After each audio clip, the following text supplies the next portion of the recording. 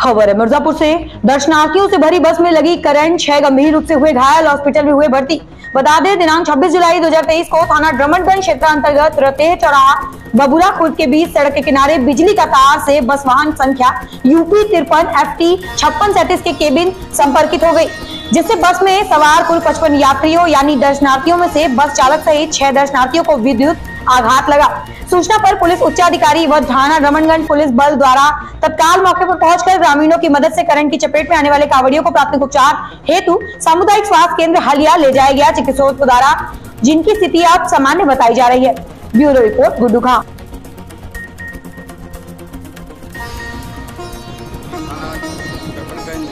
घटना है। आज प्रातः दिन साढ़े आठ बजे थी। कि एक तीर्थ यात्रियों को लेकर जो बस जा रही थी तो बबरा और गाँव के पास में एक बिजली के तार से टच कर गई है। जिसमें कुछ लोग घायल हुए हैं। इस सूचना पर थाना प्रभारी मौके पहुँचे और ग्रामीणों की मदद से घायल थे, उनको तत्काल पी एस पहुँचाया गया, जहाँ उनका उपचार हुआ है। लोग इसमें इंजर्ड बताए गए हैं इसमें से चार का इलाज देश में रहा है। लोग अपना प्राइवेट इलाज करा रहे हैं, इसमें एक डिस्चार्ज हो गए हैं और अभी पाँच लोगों का इलाज चल रहा है, सभी खतरे से बाहर बताए गए हैं। दुर्घटना का कारण ये रहा कि जो एक बस थी लिंक रोड पर जा रही थी, और दाहिनी तरफ़ आम का पेड़ है, उसकी डाल पड़ी उसको बचने के लिए उसने बाएँ तरफ़ बस को काटा है तो हल्का सा वो तार से टच हो गई, जिसमें ये करंट आ गया था। सभी यात्री सुरक्षित हैं। डॉक्टर साहब अभी अभी करंट की दुर्घटना में कुछ लोग घायल होके आपके यहाँ आए हैं और क्या नाम है उनके क्या हालात हैं सर? नमस्कार मैं डॉक्टर अवधेश। अभी पीएससी हलिया पे चार पेशेंट आए हैं जो रतेह चौराहे पे लगभग बस में इलेक्ट्रिक करंट लग गया था तार से। तो उसमें जो ड्राइवर है कमला है रायबरेली का ड्राइवर है।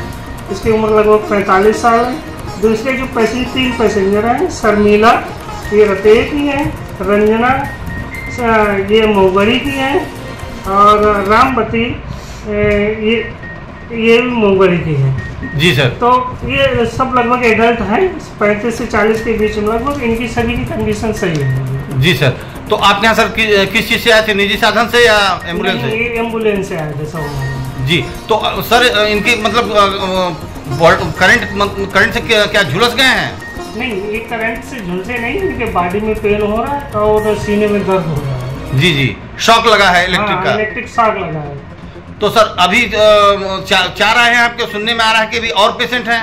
अभी हमने जो ड्राइवर से बात करी थी तो वो लगभग ड्राइवर होश में है बता रहा था कुछ लोग अपने प्राइवेट वाहनों से इलाहाबाद चले गए कुछ लोग अपने प्राइवेट क्लिनिकों में कहीं इलाज कराने गए जी अभी सर। जो एंबुलेंस के ड्राइवर से बात हुई जी। तो उसने कहा अभी इतने हैं अब वहाँ पे कोई पेशेंट नहीं दूसरे आने को नहीं है। जी तो मतलब चारों पेशेंट की स्थिति सामान्य है? हाँ हमारे यहाँ के जो चारों मरीज़ हैं उनकी लगभग स्थिति सामान्य है। एक लेडीज़ है उसको कमर में ज़्यादा झंझनाहट बता रही है। अभी दो घंटे में लगभग देख रहे हैं ऑब्जर्वेशन ठीक हो जाना चाहिए नहीं ठीक होती तो वो रेफर करें